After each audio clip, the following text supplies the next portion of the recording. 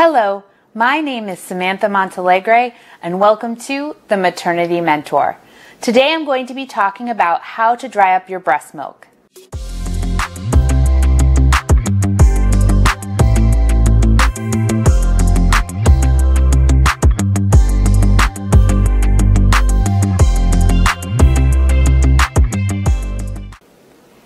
Thanks for joining us. For anyone who doesn't know me, I have been a registered nurse since 2009.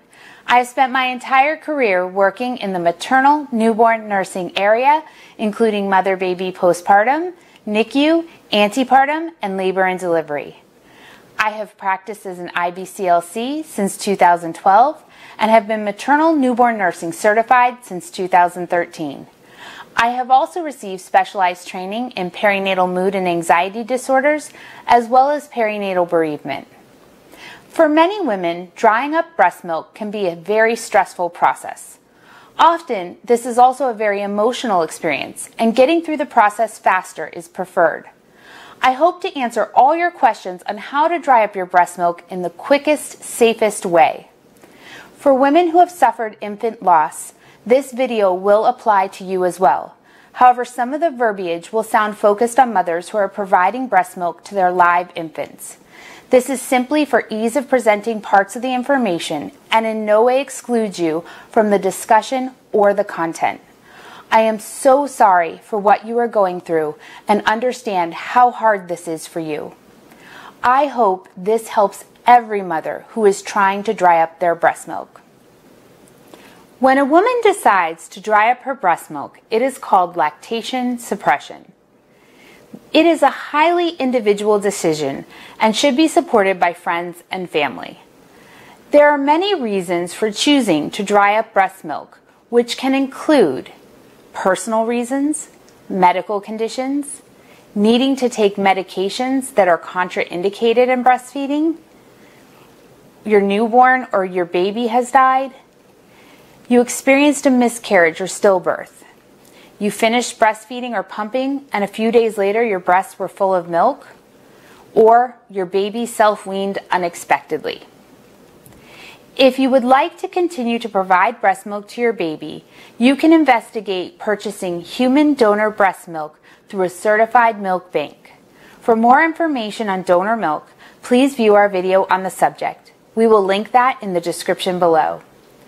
Many women ask how long it takes to, for milk to dry up. The short answer is it depends. The time frame varies from person to person and method to method. Be patient. It will happen sooner than you realize. Once a woman makes the decision to stop providing breast milk, whether she is pumping or direct breastfeeding, the temptation is to stop all at once. This is usually a very hard decision to make, and getting it done with seems to be the easiest way to cope with it. Unfortunately, this can lead to a lot of complications, including pain, engorgement, and even mastitis. It is better to decrease your milk supply slowly and methodically to avoid all these issues. If breastfeeding, start by removing one breastfeeding session a day and wait for a few days before removing another session per day. Continue this until you are no longer breastfeeding. This may take two to three weeks to complete, but your body will slowly get used to less demand and therefore produce less milk. The same process can be used for pumping, but in addition to removing a session, pump one or two minutes less. This is a more natural way for your body to adjust to drying up. Spend lots of time cuddling with your little one so both of you can adjust to the change. All medications should be taken under the guidance of your healthcare provider, even if it's just a quick phone call, because even some of the over the counter medications and herbal supplements can have serious side effects. Your provider wants to know how you are drying up your milk to ensure that it is done safely and may even prescribe a medication for you. Sage tea is an often used home remedy that is recommended. However, there are no studies to examine its specific effect on milk supply. It is believed to work because it contains a natural form of estrogen. You can use sage from your cabinet to make a tea or buy an over the counter product. Drink the tea every six hours for the best effect. High doses can cause low blood sugar, nausea, and dizziness. Other herbal supplements that have been shown to assist with drying up a milk supply include chasteberry, parsley, jasmine, and peppermint oil, which is applied topically. It is not known how these herbs will affect a breastfeeding baby or a baby placed skin to skin, so it is essential you get medical advice first. On another note, while not an herbal supplement, vitamin B1 or thiamine, vitamin B6 or pyridoxine, and vitamin B12 or cobalamin have been used to suppress lactation. These are best used if no breastfeeding has occurred yet, but it must be taken in high doses. More current research has given conflicting data on whether these even work effectively. Decongestants are an over the counter remedy that is commonly used when someone has a cold to dry up secretions and clear a runny, congested nose. They also tend to dry up other bodily fluids, which means they can assist in drying up breast milk. There have been some studies to support the use of decongestants, specifically Sudafed, to dry up breast milk. However, it does appear to work better the further along you are in producing breast milk. If using, make sure to get the pseudoephedrine version, which is sold behind the counter. Additionally, it should be noted that decongestants have severe side effects if taken incorrectly, including nervousness, dizziness, headache, anxiety, sleep problems, trouble breathing, fast heart rate, hallucinations, psychosis, chest pain, and increased blood pressure. Make sure these are taken under a medical provider's guidance. Some providers will offer you the choice to begin an estrogen based form of birth control once they determine you want to dry up your milk supply. These pills have been linked to low milk supply, which is why women after birth are offered progestin only birth control pills if they plan to provide breast milk to their baby. Hormonal contraception does have side effects, but if you are already using oral contraception, this may be the right choice for you. The Food and Drug Administration, or FDA, does not approve the use of birth control for lactation suppression, but it is considered an off label use. I'm going to briefly mention two other prescription medications that are often talked about online, but I have never personally heard of or seen them prescribed due to their side effects. These medications are brand name Dostinex or Cabergoline and brand name Parlodel or Bromocriptine, which both reduce prolactin levels in the body. Prolactin is the milk making hormone that helps boost and maintain a breast milk supply. This can make them extremely effective. However, they must be given under a healthcare provider's guidance. Everyone has heard of cabbage leaves, and most people think it's crazy. However, cabbage has been used for a long time as a non invasive homeopathic lactation suppressant. While the mechanism of action is unknown, there are numerous reports to say that it is very effective. To use cabbage leaves, start by separating the leaves, washing them, and drying them carefully. Then store them in your refrigerator until you're ready to use them. Place the cold cabbage leaves against your breasts inside your bra. Leave them there until they are wilted, which is usually about two hours. You can use them four to six times per day. Lactation suppression needs to be done carefully or there can be some complications. These include engorgement, plugged ducts, a breast infection called mastitis, and depression. Engorgement is the painful overfilling of a woman's breasts. When this happens, make sure to wear a firm supportive bra. You can hand express a little milk for comfort, but try not to do this too often because breast milk production is supply and demand. If you continue to express milk regularly, your body will continue to bre- produce breast milk regularly. If you are experiencing pain, you can take Motrin or Tylenol and you can apply cold compresses for comfort.